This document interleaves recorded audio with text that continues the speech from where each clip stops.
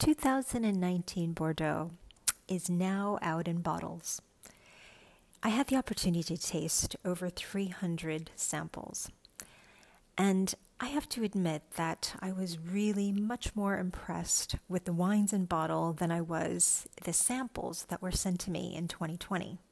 Now let's look at the vintage overall in the context of the year before and the year after, because everyone will be comparing these trilogy of excellent vintages from Bordeaux. 2018 was ripe and lush, and I found 2020 from barrel samples to be equally ripe and luscious and with plush tannins, generous alcohol, and good concentration. 2019 to me sticks out a little bit more, a little bit outside of the 18 and 20. It was definitely another hot vintage.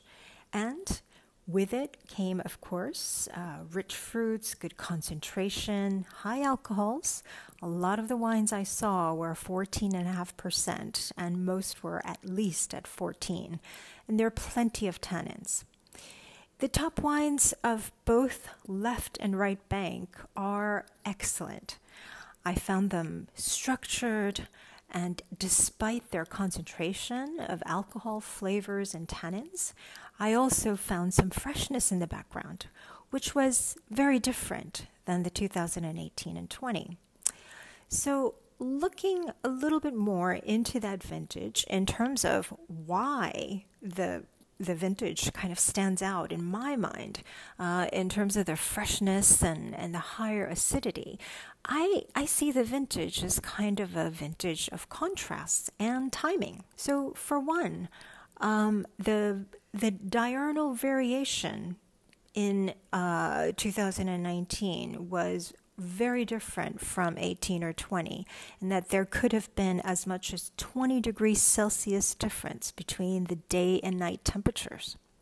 And although there was plenty of sun and warm temperatures, it also meant that they had rain at just the right times. So the summer rain wasn't actually that small. If you look at the Bordeaux average uh, rainfall, in the last 50 years and compare it to 2019, actually the summer rainfall was actually a little higher than the average. So what that means that, for example, although all the appellations differed in terms of how much rainfall they received, that there was good rain at the right times, and that's why you have this wonderful backbone of acidity in all the wines.